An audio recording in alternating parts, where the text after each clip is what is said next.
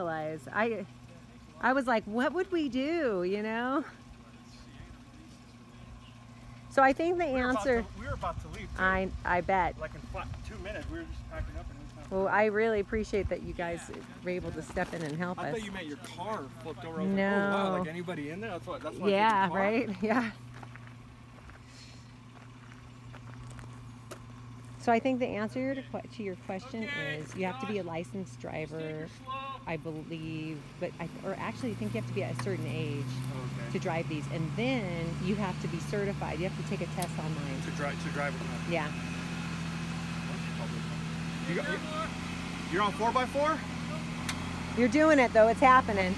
Keep going. Keep going. There you go. All right. That's it. Good. Oh my gosh. Good as You're amazing. Thank you. Any glove down there? No. That's some crazy ants. Hmm.